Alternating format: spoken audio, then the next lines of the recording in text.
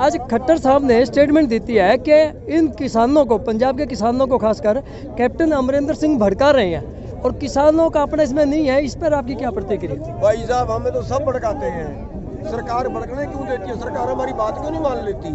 जब कांग्रेस का राज था, तब बीजेपी भड़काती थी। अब बीजेपी का राज है, कांग्रेस भड़काती है, यही इल्ज़ाम लाते हैं, उनके पास है क्या? किसी आई बिल्ली क्यों नोच रही है। हमारी बात क्यों नहीं मान रहे थे? बेचेंगे देश को ये लोग? हम नहीं बिकने देंगे इस देश को जो मर्ज़ी चावल खाते रहेंगे। जो पंजाब से पीछे से जो बाकी किसानों के मोर्चे आ रहे हैं तो क्या यहाँ इकट्ठे होकर आगे बढ़ेंगे या पीछे साहब अलग अलग लाइनों पे हैं जो इस लाइन पे होगा वो कल हम इकट्ठे होकर चलेंगे और जो दूसरी लाइनों से आ रहे हैं वो अलग अलग रास्तों से आ रहे हैं।